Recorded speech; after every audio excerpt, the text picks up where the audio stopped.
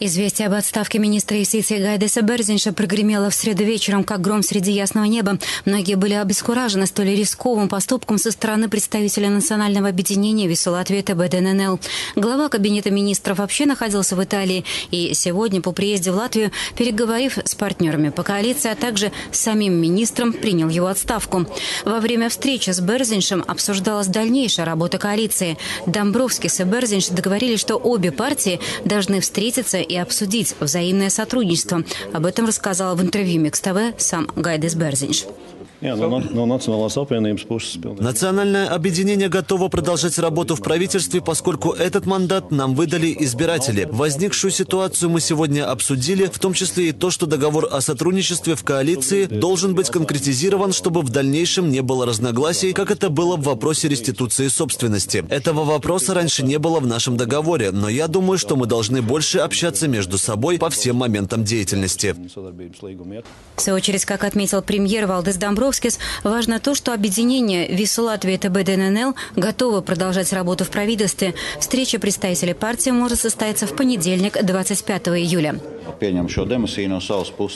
Я принял эту демиссию, но в то же время мы договорились о том, что коалиция продолжит свою работу. И нам нужно продолжить политические консультации между единством и национальным блоком. В любом случае, национальное объединение готово продолжать свою работу в коалиции, в том числе и выдвинув своего представителя на пост Министерства юстиции. Очевидно, у нас возникли какие-то ошибки в общении, которые привели к различию в понимании упомянутых вопросов, но в конце концов нам всем надо продолжать работать. Гайдес Берзинш настаивает на том, что покидает министерский пост именно из-за разногласий с премьером в вопросе возвращения еврейской собственности. Лидер Веселатвета БДНЛ Райвис Дзинтерс добавляет, что Берзинш самостоятельно принял решение об отставке. Теперь лишь диалог с партнерами по коалиции может разрешить ситуацию. В сложившейся ситуации нам остается только вести диалог с партнерами по коалиции, анализировать причины случившегося и их ликвидировать. Тогда у нас будет возможность вернуться к нормальной работе работе коалиции. Я не вижу объективных причин для ее развала. Есть много вопросов, в которых национальное объединение не получает поддержки среди партнеров. И в данный момент вопрос по еврейскому имуществу пытаются агрессивно решить нашими же руками, вопреки установкам объединения. Между тем, многие как политологи, так и депутаты предполагают, что вопрос о возврате недвижимости еврейской общине был просто использован, а причина ухода политика с поста министра юстиции намного глубже. В частности, так считает лидер парламентской фракции Центра Согласия Янис Урбанович. Я думаю, что это не только еврейский вопрос. Я думаю, что прежде всего а, это негодование националистов, что они а, а, как бы недооценены и вся власть в правительстве, в коалиции в руках небольшой группы единства. Такие проявления а, а, вот, нестабильности, они будут время от времени, но а, этому дружному коллективу, в кавычках дружному, ничего не грозит. Так они будут нас и себя мучить до самых следующих выборов.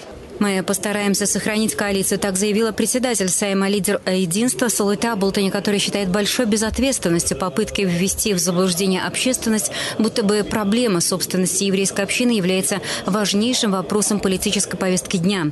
Свое слово сказал и президент Латвии у меня нет никаких сомнений, что сложившаяся ситуация может быть решена, сохранив действующую коалицию. Существует достаточно решений с учетом сохранения правительства. Мне кажется, что существенных изменений не будет. Я не считаю, что по этим вопросам нельзя дискутировать. По вопросу еврейского имущества уже много говорили, и решение его чисто вопрос переговоров. Главная интрига теперь заключается в том, сможет ли нацобъединение предложить другую кандидатуру на пост министра юстиции. Сейм в окончательном чтении утвердил противоречивые поправки к закону о референдумах, согласно которым вместо двух этапов сбора подписей в дальнейшем будет проводиться лишь один, а инициаторам референдума придется самим собирать примерно 150 тысяч голосов граждан. Данные поправки будут также применяться к инициированию распуска Сейма. Изменения вступят в силу с 1 января 2015 года. Пока депутаты занимались законотворчеством, у стен парламента прошел пикет в защиту неграждан и демократических процедур. Пикетчики называют действия парламента парламента антиконституционными, лишающими латвийский народ гражданских инициатив.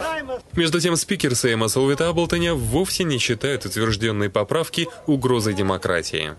Демократия, во-первых, не пострадает. Это опять я сегодня слышала все это рефер... референции про этот закон и хочу еще раз сказать.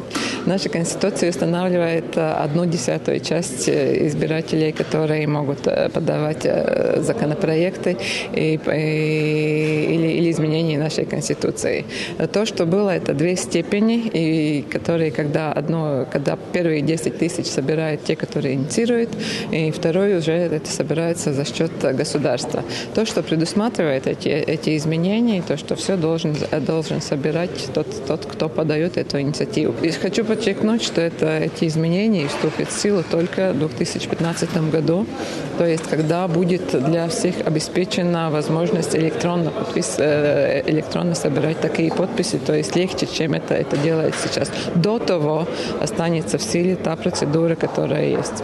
В свою очередь, глава парламентской фракции «Единство» Дзинтер Закис считает, что референдум в Латвии превращается в обычный опрос общественного мнения, за который государство платит слишком дорого. Это норма, когда 0,6% меньше 1% населения э, мнение может э, заставить, ну, заставить государство платить за то, чтобы, ну и причем немало, и там миллионы получается, платить за то, чтобы их мнение э, проверили, интересует это общество или не интересует, это неправильно. Стоит отметить, что протестовали у не только по поводу закона о референдумах, но и против нарушителя этических и моральных норм Дзинтерса Закиса, уличенного в обходе уплаты налогов при покупке дорогого внедорожника. Пикетчики, как и большинство жителей, считают, что допустивший такие нарушения парламентарий должен сложить депутатский мандат. Сегодня состоялось последнее перед летними каникулами депутатов заседание Сайма. Перед парламентариями выступил президент страны. Андрес Берзнич похвалил слуг народа, заявив, что в ходе работы Сайма нынешнего созыва было принято достаточно много изменений в законодательстве, подчеркнув, что время и атмосфера, при которой был избран новый Сайм, были тяжелыми. Впрочем, Берзнич высказал и критику за слишком раздробленную точку зрения на процесс создания законодательства. Многие законы, по словам главы государства, так часто изменяют, что что люди просто не могут за ними уследить.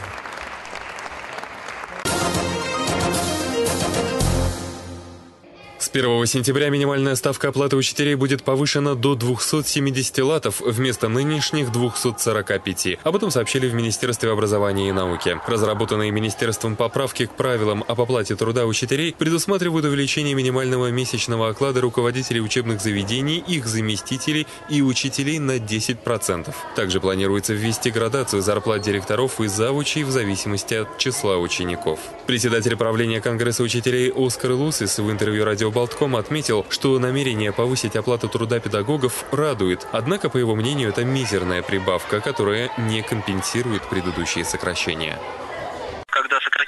зарплату лет три, наверное, назад, сокращение было и зарплаты, и еще сократили уроки, которые нужно преподавать, и сократили еще то, что касается домашней работы, контрольной работы, когда проверяют и так далее. То есть на самом деле сокращение было приблизительно на 150 латов приблизительно, а сейчас повышаем значит, на 25 латов.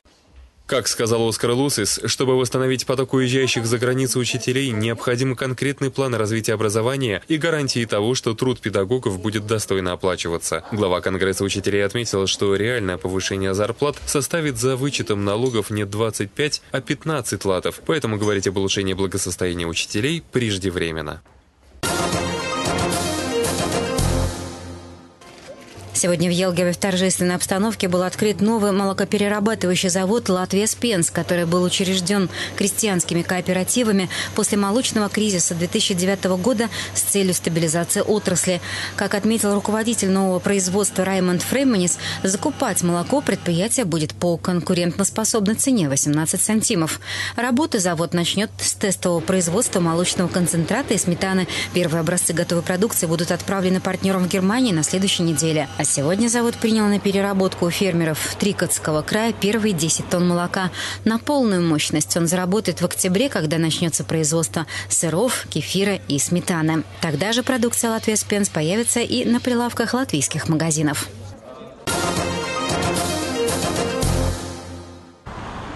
В Риге на Андрейсале было найдено около 5,5 килограммов тротила. Управление по борьбе с организованной преступностью получило информацию от встревоженных местных жителей о том, что на улице Андреостас около железной дороги возможно хранится крупная партия взрывчатых веществ. Туда оперативно выехали соответствующие спецслужбы, оцепившие близлежащую территорию. На месте происшествия полиция обнаружила, что возле железнодорожного переезда спрятан полиэтиленовый пакет, в котором находились брикеты по виду напоминающие тротиловые шашки. Опасная находка направлена на экспертизу. По делу начат уголовный процесс.